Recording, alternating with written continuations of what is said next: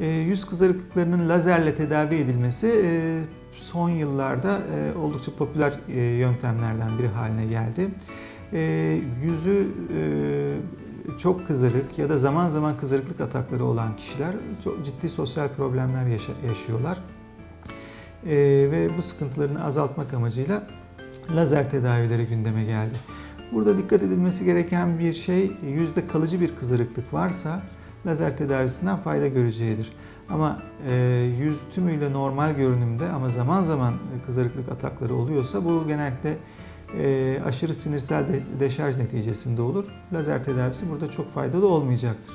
Kalıcı kızarıklığı olup zaman zaman bu kızarıklıkları ataklarla artan kişilerde ise e, özellikle pulse dye lazer ve e, IPR gibi cihazlarla 4-6 seansta çok iyi neticeler alınır. Burada tedaviler oldukça kısa sürer. Yaklaşık 5-10 dakika kadar e, sürer. E, ikinci, üçüncü seanstan sonra da belirgin rahatlanma, rahatlama izlenir.